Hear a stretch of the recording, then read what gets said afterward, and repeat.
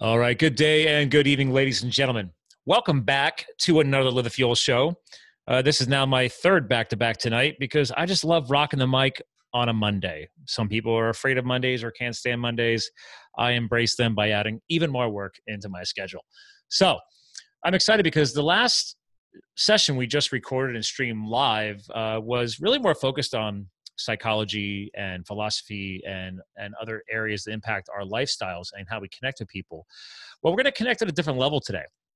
Uh, for those of you who listen to the show regularly, you know that my dad has type two diabetes, so I have a you know a condition in my family that is affecting thousands, if not millions, of people these days. And there's type one, there's type two. We're going to talk about that because some people still don't understand the difference, and I think that's important to get clarified as well. Uh, but the gentleman joining me today he's CEO and co-founder of his company. He spent 34 years, just a few, just a few, in the healthcare industry, primarily at Medtronic, the largest medical device company in the world. I mean, that's pretty significant. So, I mean, they serve like a large variety of roles, including uh, leading the Medtronic therapy delivery business. But in the last four years, um, he has successfully led the founding and growth of a company called Pops, so if you haven't heard it before, Pops, aka Pops Diabetes, but their core brand is all about Pops, P O P S. That's right, that's what I'm saying. And they're a leader in creating full virtual care. Uh, the next stage of healthcare. We've been seeing a lot of this these days. Healthcare has been shaken up like crazy in this country. A lot of us still don't understand what the heck's going on, but there's a lot more online resources, a lot of things going virtual, apps, you name it. I can barely keep up. Uh, but well, anyway, without further ado, let me bring him on the show here, ladies and gentlemen. So, without further ado, our guest co host today, Lonny Stormo of Pops Diabetes, aka Pops. Welcome, sir. Thank you, Scott. It's good to be here. I'm excited after uh, listening to some of your podcasts uh, about kind of joining into the conversation and really talking about healthcare. Yeah, we keep it real. yep, absolutely. no, no, that's right. There's that's right, people. We there's no. I don't have a script sitting here. Uh, you know, his team. They I always ask people. They have, I have a nice form on the website. I do want to read about you. I have your nice bio. I could go click on all your links so I can learn more about you. So I, I want to do my my groundwork ahead of time. But in the end, that just helps me have a better conversation with you. We keep it real. So it's like you and I are two grown adults that have right. very different backgrounds, and I think in the ways of mankind, we're all supposed to meet people and have conversations and get to know each other. I find it healthy. That's right. So I, I mean, that's, that's, absolutely. It's uh, it's all about trying to create relationships and create conversations that can move things forward in the right direction. Totally agree with that.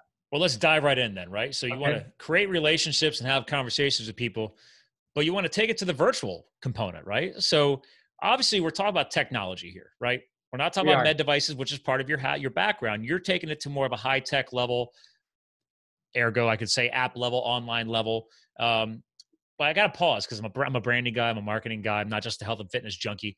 But what's the deal with POPS pops? Is there is there a meaning behind that, or you just like rocking pops? I don't. I mean, I gotta... we like more about just rocking pops, but no, there's no specific meaning. It's not an acronym. People ask us that all the time. What does to. POPS stand for? It's got to stand are for you, something. Are you sure you're from the healthcare world? Because, I mean, nowadays everything has to have an acronym.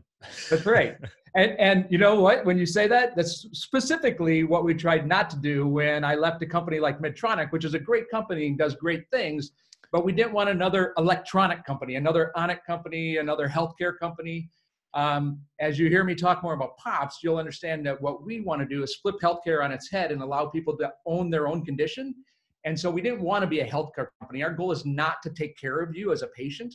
Our goal is to enable you to take care of yourself, self management. And so when we were coming up with the name, really what we wanted to do was have something that said simple action. We want you to take care of yourself through simple action and pops was a word that kind of said that to us, you know, pop in and do like something. Pop it right into motion, right? Exactly. Like pop yeah. it into and, existence. Exactly. Yeah. So, Wait, that, so that's mean, really what pops is about. Well, so basically, I mean, as a fellow entrepreneur, I mean, based on your branding, you just popped this company right into existence, right? It was like turnkey, right? No, no, no struggle, no struggles, no challenges. Not at all. There's been no ups and downs. There's no roller coaster here whatsoever. It's just been solid growth the whole time. a lot of people think that. They're like, oh my God, look how successful that company is. They just figured it out. And I'm like, well, it doesn't always just figure it out. No, right? it's, you know, as you know, I mean, it's a journey. I started at a big corporation, obviously, and then started out basically in a garage with one of my co-founders. Okay. And uh, you know, it has been solid growth since then, but but it is a tough road to hoe. I mean, it's it's not always easy, and you know, sometimes you get the no, whether it's from an investor or from a customer, and it, it's like doesn't feel good to hear that no, but you go on. So did you do the garage just because you're trying to take a page out of the whole IBM Apple history type thing or Windows That's thing right. or like you know everybody seems to start in garages. You know, it's just like oh man, start. I mean, I'm okay with it. I got an awesome man zone. I'm all about the garage.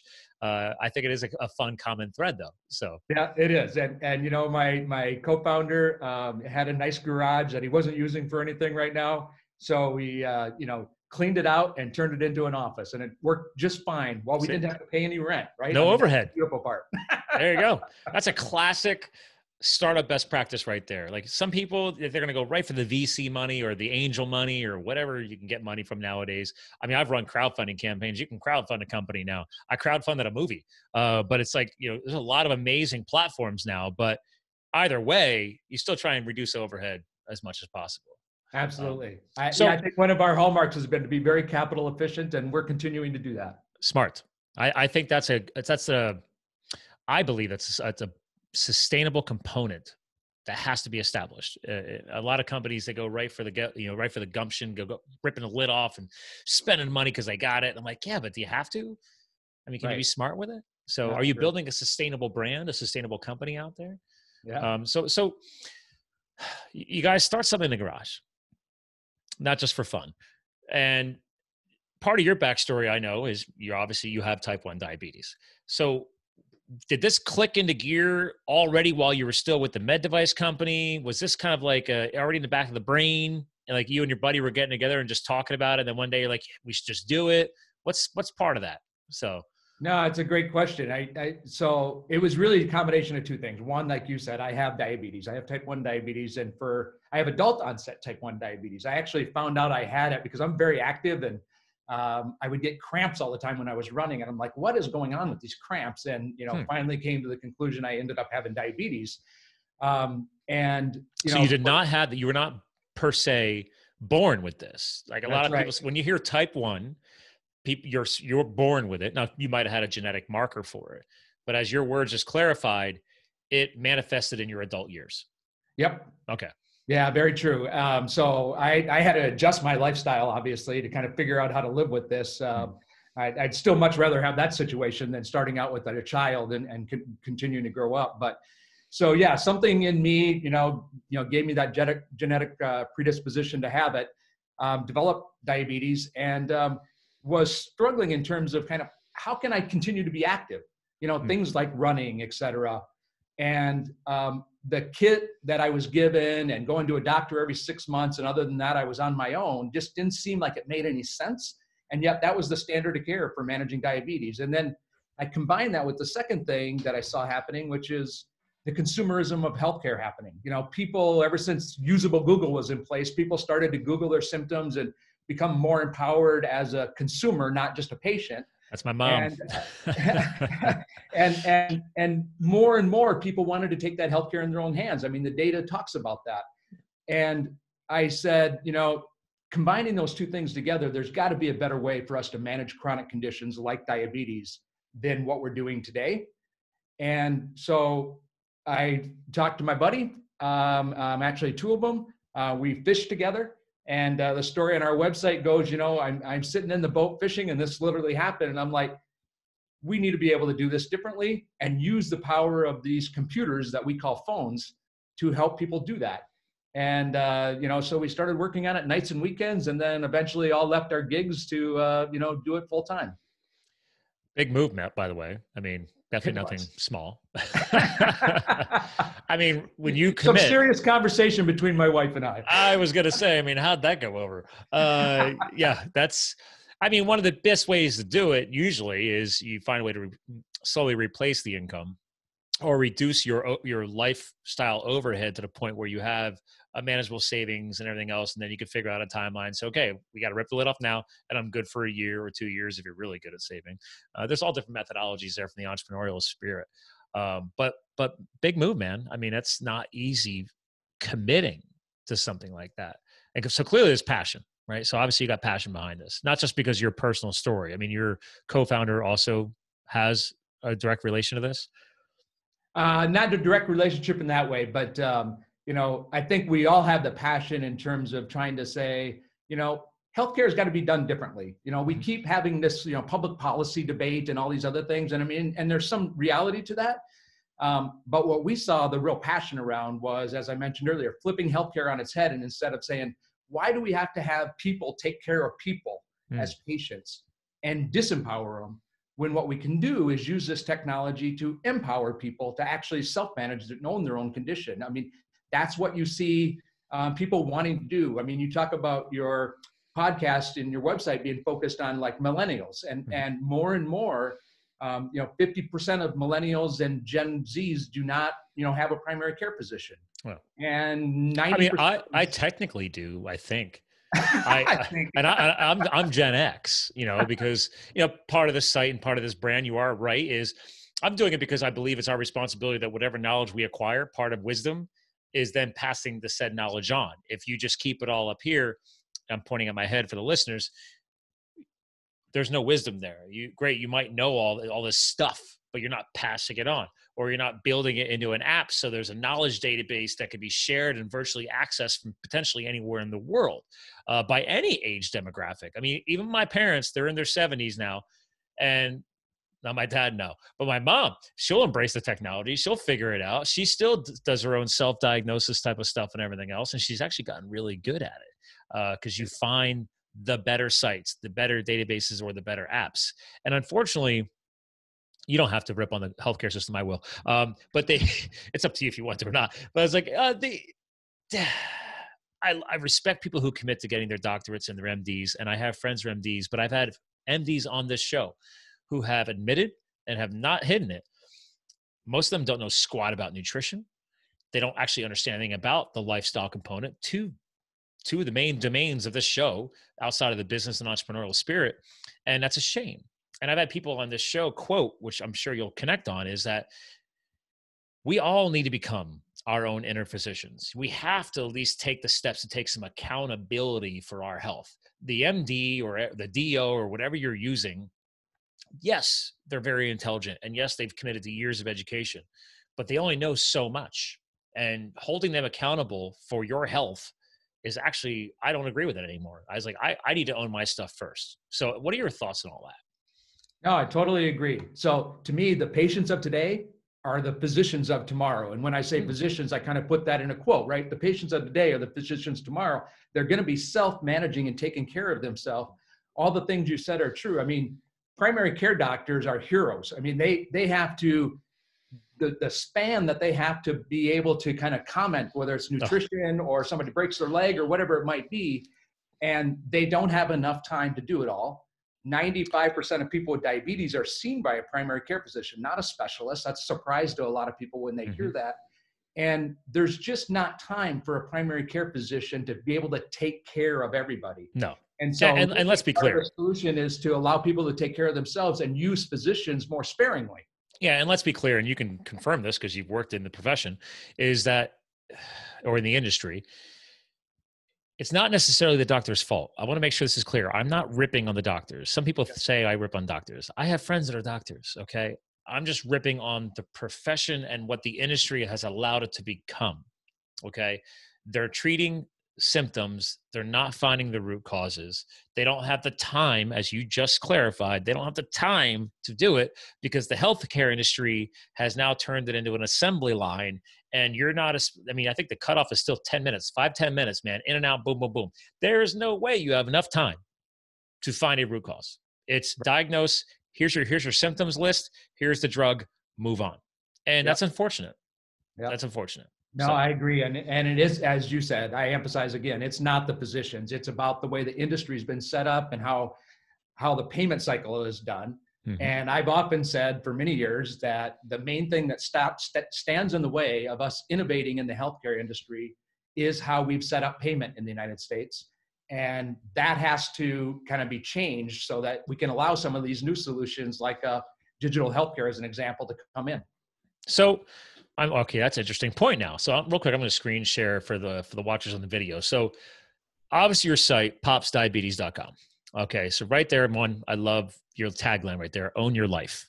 and you're focusing on you know discrete technology obviously privacy so i used to work in the technology space so i'm guessing whatever databases you're connecting through apps are going to be fully hipaa compliant because um, unfortunately that's uh, the i think the numero uno immediate checklist when it comes to data um, but how are you are you guys connecting this into per se this broken system or are you staying more high level and out of it how are you going to go about that i mean yeah, that, that's a great question because the last thing that had to happen for me before I left Medtronic was to figure out can we get paid for this? Uh, right. You know, this is a key thing of any entrepreneur, right? Yeah, yeah, yeah.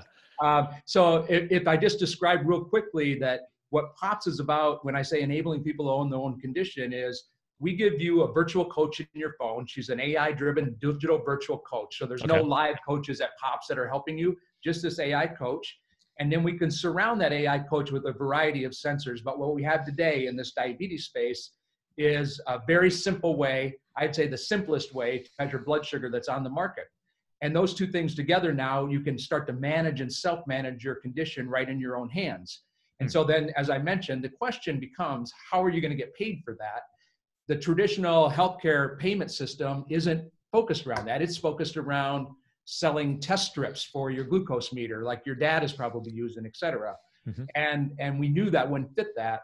And so this was the key. It basically, and so your question, yes, we are going around kind of the traditional system by basically saying employers who pay most of the healthcare in the United States are willing to pay for solutions that can benefit their employees and benefit their bottom line outside of the traditional healthcare system. And so what we do is we actually sell directly to employers. Oh. And other digital health companies are doing similar types of things because they know the traditional payment system doesn't really fit their digital healthcare solution. So you're plugging into an employer's health portfolio of off offerings to their their their employees. Um, it's not necessarily a required solution that the employees have to use. It's an available solution, saying, "Hey, you know, thanks for being one of our valued employees. If you have concerns around, in this situation, we're talking about diabetes right now, right? But okay, you have diabetes. Hey, we've partnered with Pops. We have access to their app. We pay them a retainer or whatever it is for their technology. Go download the app and here's your login. That type of relationship. That's exactly what it is. It's a subscription service. If somebody does sign up for it, then the company will pay us for that. Okay. And yeah, all the company and and we do is help market that out so that an employee likes it, they download the app and register and off they go so now obviously i know you're you have a bigger mission here right so i don't want to cut too far down the timeline but you want to take this into other chronic conditions so uh, obviously smart spearheading diabetes because unfortunately uh, the the sad diet the standard american diet has driven this country into such a uh, really decrepit state of health that you have no shortage of diabetes uh, to to address and help so uh, until we could turn that around, especially from a type 2 perspective, not a type 1 perspective, um, we've got a lot of work to do. And there's a lot of people looking for help. So with your app and with your AI, because I'm a geek, do so you guys are populating a database of knowledge and you're acquiring this knowledge from where? Like the ada other reputable database sites of, of health knowledge around di- di- diabetes? What, what's how you getting, getting the data that the ai uses? Yeah, so it really starts out with uh, looking at things like ADA guidelines and so forth, and look and working with uh, kind of diabetes educators and what they typically would do based on certain you know um, actions and things.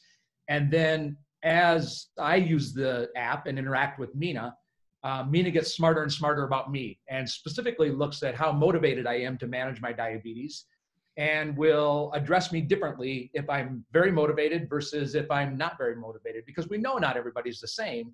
Hmm. And I think one of the biggest issues with a lot of apps that are out there, I mean, there's lots of apps out there to help you manage diabetes. Um, what we found out when we did focus groups with people is uh, people said, uh, we want to use an app to manage diabetes. Actually, 90% of them in one of the studies that we did said, we want to use an app but only 10% were actually doing it. We actually published that at the American Diabetes Association because we thought it was so fascinating. Wow. We said, how could there be this huge gap of 80%? And the reason really boiled down to the apps were more burden than benefit. And so, oh, yes, if, if you have cum- cumbersome technology, exactly, yeah, or or they're they're pinging people too much or asking too many questions and so forth. And hmm. and so what we try to design Mina to do is be um, two things: one, come across more like your personal friend um, as opposed to your healthcare provider.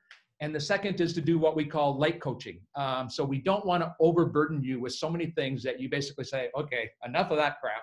Hmm. Shut down that app, delete it off my phone. We want you to stay engaged because this is a marathon and we want you to take that marathon seriously.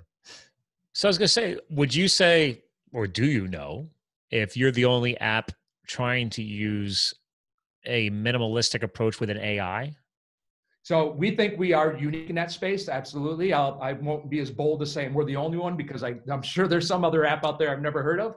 Yeah. But in terms of the people that we're talking to employers with and um, and the competitors that are out there trying to do the same thing, we think we're very unique in having Mina as your light AI coach. Yep. So if I'm an employee, because I'm intrigued from the user standpoint, and my company partners with you guys. Great. I see this awesome. I'm either type one, type two, whatever. I got diabetes. Uh, well, oh, uh, well, let me pause on that. What if I don't have diabetes, but I I want a resource to help my family member, like my own father, who's type two, and I don't have diabetes? I can still use this app, right? So it's a resource that the company has available, or do you have to be a patient? Yeah, it depends on it. Well, uh, first of all, just as a clarification of our position, we yeah. don't consider anybody a patient. Uh, oh, well, oh, yeah, sorry, that's a word. Yeah, there you go. I, I, get it. I was uh, waiting for your so synonym. We're all people, right? And then not patients. And and actually, when somebody signs up and uses our app, we call them an owner because we see owning their life. Yeah. Um, but um, uh, the answer to your question is it depends on the agreement that's in place with that particular employer. Oh, okay. How they want it to go. So we do have people, as an example, that have used this for pre-diabetes um, and they're basically using it to learn more about kind of what's affecting them. Um, sure. And we've had people, as an example, say, "Boy, I didn't know when I went and had Mexican and I ate all this rice that my blood sugar spiked up to 170." Grains uh, get converted to sugars, ladies and gentlemen. I've had the scientists on this show. I've said it before. And yeah, I'm sorry, I didn't cut you off. Uh, and unfortunately, people think rice healthy, and and rice is full of sugar. Um, and so, yeah, that's a surprise to a lot of people. So people learn from things like this. A lot of people don't know the quinoa because they think, oh, it's quinoa. It's an ancient grain. I'm like, the emphasis here is grain. Your liver doesn't see the difference. When that stuff gets metabolized and processed, all that type of stuff slams the liver. And it's the same exact thing. It just says, what am I getting? I'm getting a glucose spike. Okay.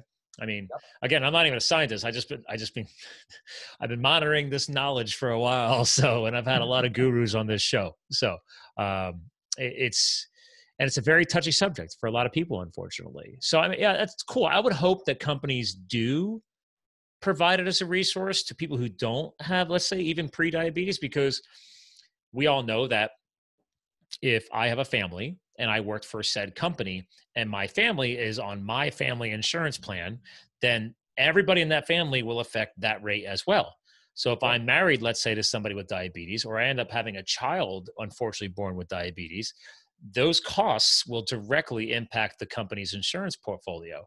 So you should provide it as a resource to that employee if you want yeah, them to impact that in a positive way. If, if, they're in the covered lives, uh, in like family members and so forth, I think most employers are doing that. Okay, cool. That's even better. So I, I was just wondering. So I mean, it makes sense to me. I mean, I I work for myself, and I would think I'm like, well, I would I wish I had that if I knew that. So, uh, but it, it's it's touchy though, right? I mean, that's that's the point. That's the sad part of this is again, you come from this industry, and you're still in this industry in a different way now, and you guys got to watch what you touch, what you say. Like you just said, like, joking around, like you're not a patient. I own my condition. I'm an owner in your technology because the word patient directly relates to the medical world with doctors and everything else. And you got to be very, very touchy on all that stuff. Yeah, so. you do. And, and, uh, you know, the, this just topic of diabetes to begin with comes with a lot of guilt, right? I mean, even I, as a type one diabetic, I, I, I, I can't believe I said that. A person living with type one diabetes, because I'm yeah. not a diabetic. Yeah. Um, you know, I feel guilty, right? And and I, I didn't do anything to cause this to myself, and um, it just I, got activated one day. It, it, it, did, and and uh, you know, so but now if I have dessert and I'm around people that know I have diabetes, there's a ton of guilt there, like oh, I shouldn't be doing this in front of people. Yeah. Um, and uh, you know, try to eat healthy, but a lot of people. Um, not only live with the guilt of you know having diabetes, but you know they don't even want to tell anybody that they have no. diabetes because of that you know, and, yeah. and, that, and, that's too bad. And and you talked earlier about uh, you know, type 1 diabetes, type 2 diabetes, and maybe we should talk more about that because I don't think people really understand no, let's not say maybe. Let's go ahead. Dive in. Dive in. I mean, you're, you're coming as the expert here. I mean, I, I have my own personal story with my family, and I've actually had numerous people on this show in other demographics over the years still connecting on the diabetes subject. But I want to hear your perspective. How do you help people differentiate that type 1, type 2 discussion? Yeah, I think overall, what I always say to people is it's too simplified just to kind of break it into type one and type two. I don't think we can be that simple about what's really going on in our bodies. Our bodies, as you know, is a very complex system that's going on. And um, I personally believe that the human biome is um, having much more effect on kind of what's going on with our diabetes and asthma and other chronic conditions. That oh, God, yeah. Yeah. Um, it's an inflammatory response. What are all yeah. forms of disease? Diseases are triggered by inflammatory responses. What's and triggering we, the inflammation? yeah, and we've dramatically changed that in the last 50 years, and our body just can't keep up with that, and so we end up with all these conditions that we're dealing with. But you know, about 10% of people. So, first of all, I should say, like in America, there's like 30 million people with diabetes. Mm-hmm. About 10% of those have type 1. Typically, people think, uh, oh, it's um, juvenile onset and so forth. But there's more and more adults with type 1 diabetes, like myself. Um, again, I think brought by kind of, you know, what's going on in our environment and so forth. Um, and then um, in type 2, rather than kind of talk about type 1 means you're dependent on insulin, basically. Yes. Don't yes. think of it as childhood diabetes. Think you're dependent on insulin to live your body's just not producing insulin like it needs to out of your pancreas, which is happening in the normal body. Type 2 then is really about insulin resistance. Um, you have enough insulin, but you become insulin resistant for a variety of reasons, whether it's inflammation or um, you know, a variety of reasons that I don't have to go into. About 25% of type 2s are also using insulin daily. Um, hmm. and hmm. you know, that's interesting. A lot of people don't understand that but those people should be managing their diabetes very um, completely and, and daily. And, and unfortunately, that's not happening. And then you have about 40% of type 2s who are using of oral drugs. And whether they could get off those oral drugs, as some people believe, by losing weight or losing more exercise and, and trying to reduce that insulin resistance, that's debatable. And, and I don't know the answer to that specifically, but there is a lot of debate about that. And then there's about 20% of people with type 2 who are basically what I call diet and exercise people. Mm-hmm. Um, you know, tend to be elderly people. Actually, my dad, when he was 80 years old, um, was diagnosed with diabetes. And basically, his doctor said, eat less, walk more. I mean, and that's kind of that eat less or that diet and exercise type of group.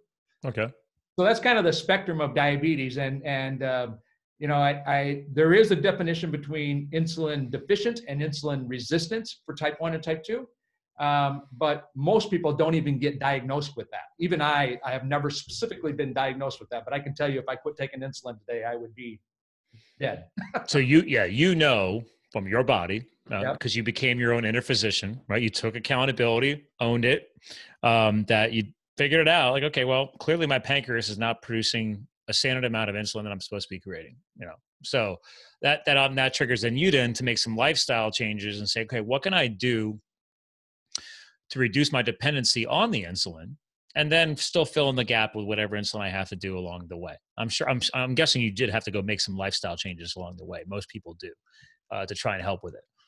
Yeah, actually, my wife jokes the best thing that ever happened to you was you got diabetes. that is a very uh, strong joke. Uh, I'm, I'm, guessing that did she nail the delivery or? or... I don't remember if I laughed at the time. Okay. No, but but I certainly live healthier because of it. Um, you know, I I've changed how I eat. I did lose weight. I wasn't really overweight before, but I did lose weight. Became more you know lean, and I basically exercise every day because what I found is I can use less insulin and I have just an easier time managing my diabetes if I get in my exercise in the morning every morning as, as early as I might have to get up, even doing an entrepreneur type job. It makes my life better and I feel better. Well, I mean, hands down. I mean, physical exercise has always been tied to a healthier brain, healthier attitude, psychological benefits. Uh, and again, you're using your body, you're keeping things mobile, movement, everything. It's reminding that you're alive. Uh, and then obviously there's the dietary component, the nutritional component. And that's where it's like, listen, the, the age old saying is true. You can't out exercise a bad diet. So if right. your nutritional choices are questionable, okay, you maybe when you're in your 20s, you could just sit there and treadmill it off. whatever. The science doesn't really back that up. But the point is that yeah, you, you need both. You got to keep them both in alignment. And just because you're out there running, because it sounds like you're a big runner, you, you, you brought up at the beginning of the show, you could be out there running your half marathons all you want. If you're putting down those sugar, sugary, gooey squeeze packs that they advertise in all the runners magazines, not going to help somebody like you at all. you no, can try it. Don't recommend it. no, it's not. But you know, I mean, um, being active like that was important to me, and it still mm-hmm. is important to me. And uh, it's why you know we have a solution like Pops to enable people to kind of continue to live their lives. Um, actually, one of the coolest things that I've done in the last uh, six months was hike to the top of Torres del Paine down in Patagonia. Oh, I'm jealous. I haven't been down there yet. It's on the list. Uh, it's gorgeous. Um, although I can tell you, by the time you know we started hiking in shorts and it was warm and hot, by the time we got to the top, we were bundled up and it was blowing snow. Standard can, standard high altitude hike, man. Yeah, yeah, it can it can be crazy, but uh, you know, all along I was using the pop system while I was doing that, and and when you have diabetes and you're out in the wild like that, it starts to get a little anxious, you know, in terms of. But kudos to you. Okay out here.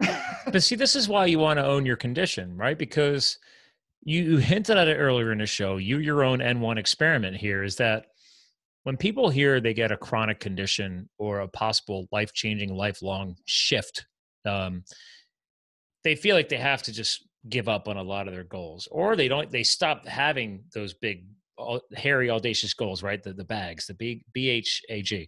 Um, but no, that's no. You have to adapt. You have to learn. You have to study and figure it out. And look at you, man. You're hiking a peak, you know, down in, in beautiful Patagonia. Uh, I haven't even done that yet, but I mean, now you got you can actually tell people what it's like to do a high altitude hike and we have to do that's why layering is so crucial and that type of stuff. I when i lived in colorado i, I hiked five five 14ers in one year and wow. learned all about that you know you don't have to be in argentina to figure that out. It's they, they have a lot of 14ers in colorado but even there i didn't have diabetes. I mean uh, i wasn't also i also wasn't eating like Clif bars every five seconds like i I was pretty healthy and I knew how to put the right nutrition in my body that I knew would burn for a long period of time. So I wasn't hiking with like 50 pounds of chow in my pack because I didn't know how to fuel my body right. So, and, uh, but, uh, you know, kudos to you, man, for setting the big goals because a lot of people hear type one or type two diabetes or other chronic issues and it's like yanking the e brake and their life just stops. Yeah, that that's that's unfortunate, and that's exactly what we don't want people to do, right? I mean, it yeah. should be just the opposite in terms of your state of mind. Again, like you said, um, and not feeling like I'm a victim of this thing and I am a patient and tell me what to do, doctor. I don't know what to do. And we want people to go do those kinds of things and, uh, you know, have big goals. I mean, my, my big goal that I haven't accomplished yet is to run on all seven continents. So there you I'm go. up to six. All right. Uh, I got one left, and you can probably imagine it's Antarctica. Antarctica so- or Arctic or the Antarctica, yeah. the cold ones are usually the last ones to go. So, um, and then when you say run, you're just going to jump off the ship and like run for like five seconds and get back on, right? Or- well, I've, I've personally set a goal for myself that if it's less than three miles, I don't consider it a run. So, so you have to do at least a 5K? Exactly. Yeah. Three, so I'm three, not exactly sure what I can do in Antarctica. I think they have crazy events like that. I don't know. I mean, it, it's possible. I don't know either. I, Again, it, thanks I, to Google, I, you know, look it up. I just got Australia done recently, so you know now my next goal is to start to figure out Antarctica. Uh, before the fires or during the fires? Uh, man, kind of during and maybe as they lagged out here um, okay. earlier this year. So yeah, I had some buddies down there recently are fighting them. So because that was that was part of my history. Is I served oh, as yeah, a wildland firefighter in Arizona. So uh, yeah, it's you know our best wishes to everybody. It sounds like they're finally on the downswing and got everything under control. A lot of lot of crazy. Uh, devastation down there. But see, that's another example, right? You just joked around about the extremes of hiking from warm temperatures to cold temperatures. But going, I mean, places like Arizona, people like Australia, there's some very hot, dry areas that also affects people, whether you have diabetes or other conditions, right? You have sweat management, salt alignment. Again, back to nutrition, back to your lifestyle. And a lot of people just throw that stuff out the window because like, I don't want to take the risk, right? I have, I have a condition now. Yep. Or I have yep. a disease. Some people go to the level of disease. Some people don't want to call it a disease. Some people take it to that level and they, they want to make sure people understand don't invite me to things like that. I can't do that anymore, and that's a yeah, shame. Uh, that's too bad. It, I mean, and and um, you know, we want to continue to sophisticate our AI coach, but the one of the goals of the AI coach Mina would be to help you through those kinds of things. I mean, if you're in a hot condition and Mina knows that the temperature is very hot and you're out hiking and creating activity, um, you know, for Mina to su- suggest some things to you around hydration or, you know, sodium intake and things like that so that you can be more healthy and feel more confident that you can go do those things yourselves because, you know, you're not completely on your own, but it is not with somebody kind of watching you and taking care of you or looking over your shoulder it's with the technology that you're carrying around anyway. So in your in the app in the AI, um, do you have i'll call them chapters, categories of data?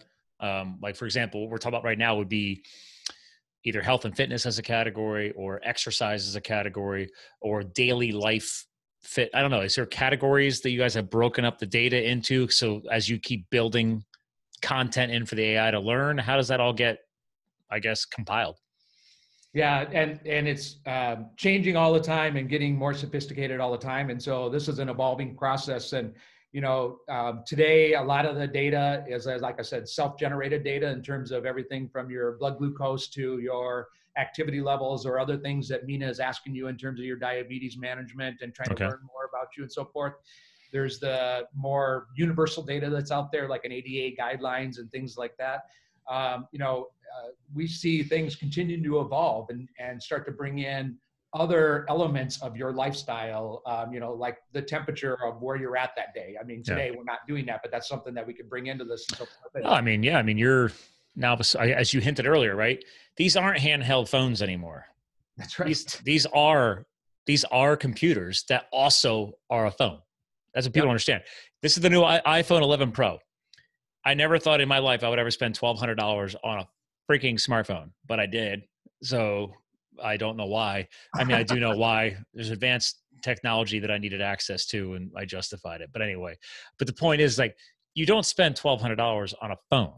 You spend it on the freedom of knowledge and data. That's what I bought it for. Yep. And oh, by the way, I can make phone calls for it too. I could I could literally run my my charity and my company off of this phone. So it's pretty awesome.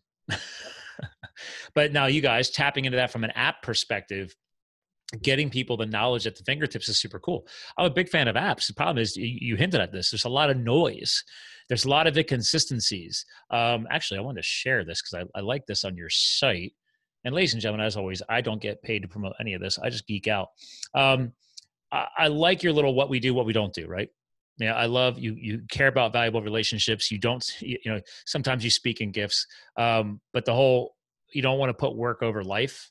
Thank you. Well said. You're not going to have hidden agendas. Uh, I want to understand re- resisting the red vines.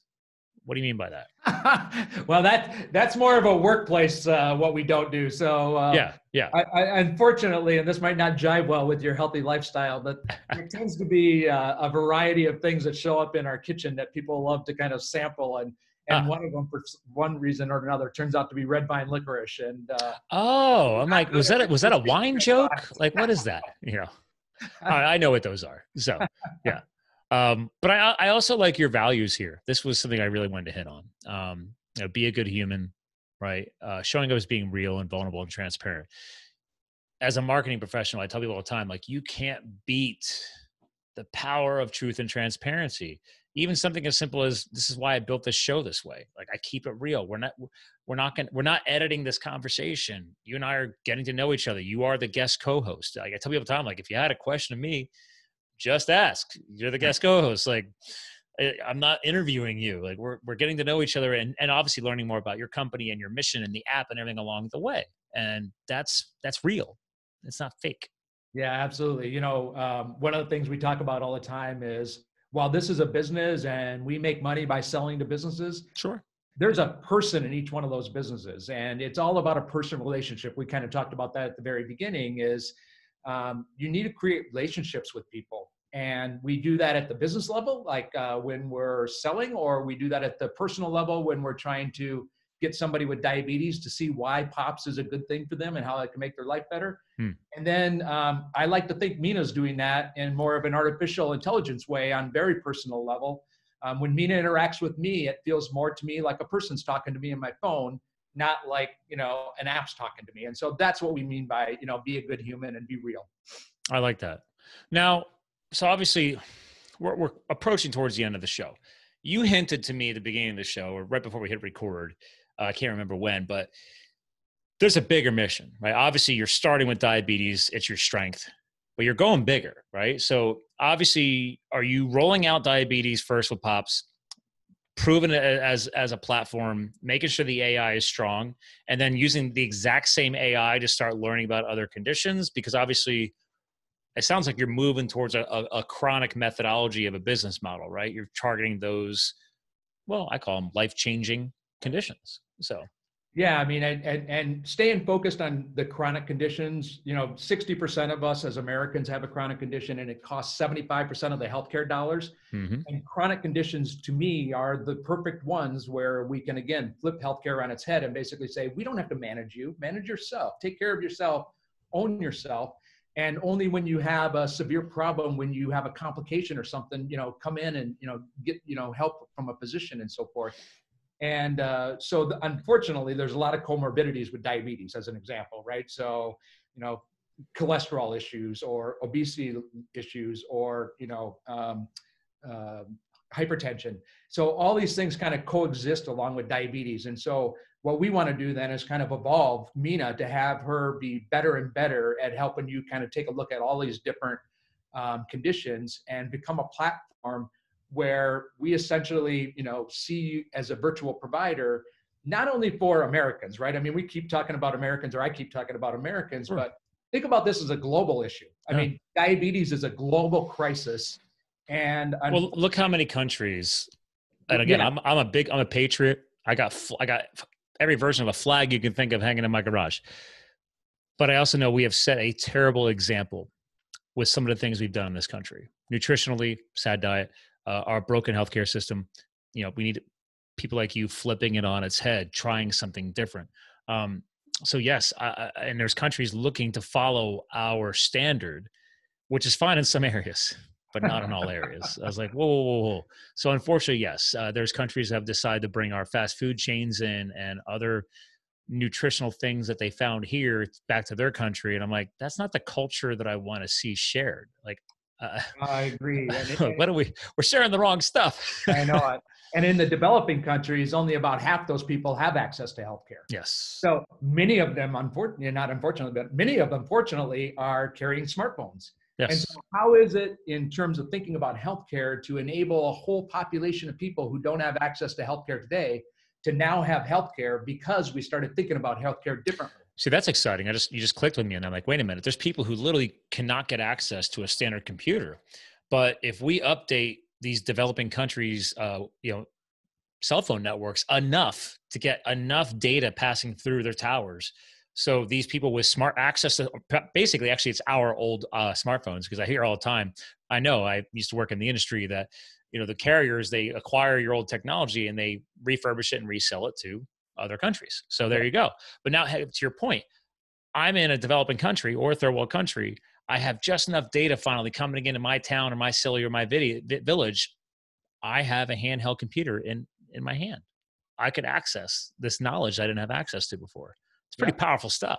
It is, and and that person probably is going to get that access before they get access to a trained physician, right? I mean, so this is where now we can kind of think about that. that this is the passion that makes me leave a. I say you look you look a little giddy. You look a little and, giddy. I like it. Uh, yeah, this is my nerd and passion kind of thing coming out. Is is uh, there's a big opportunity here, um, way beyond kind of just trying to help people in America own their lives to enabling healthcare across a whole world where healthcare doesn't exist for a lot of those mm. people, and that's really cool. And and that's what I mean by flipping healthcare on its head we tend to think, oh, we need to send physicians to all these countries and so forth. And there certainly is the need for that in some things. Sure. But in some things where we can self-manage, we should enable them to do that. That that to me is a really cool thing. Well, and again, sending these physicians and uh, some amazing physicians go, and I respect yep. them. There are a lot of humanitarian Absolutely. aid missions, but again, that's only as effective and as quick as the logistics, the horsepower, and the hands that these doctors have there.